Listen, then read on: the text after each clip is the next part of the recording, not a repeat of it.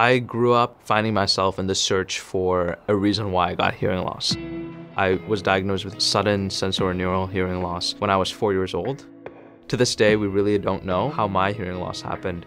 Even after over 10 years of trying to see clinicians and going to different specialists, there wasn't really ever an answer. That desire to answer that question changed into a desire to find an effective measure to essentially remedy hearing loss.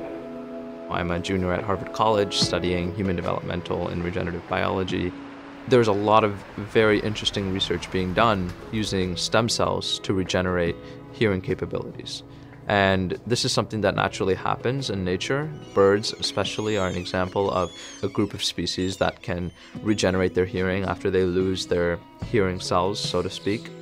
How do we take this idea of regenerating nature, how can we translate that into humans?